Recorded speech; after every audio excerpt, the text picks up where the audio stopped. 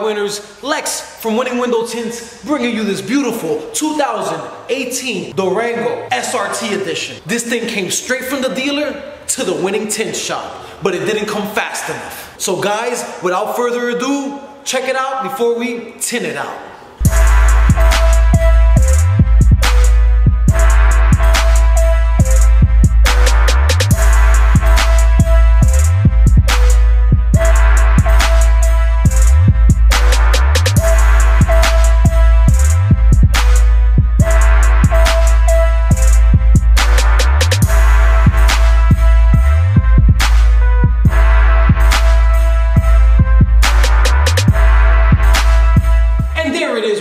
Just finished tinting this beautiful 2018 Dodge Durango SRT and it came out amazing. Corey loves it, I love it, that means everybody wins.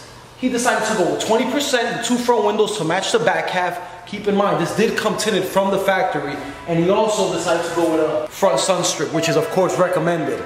And just to throw a little surprise in there, he also decided to do something else, back tail lights.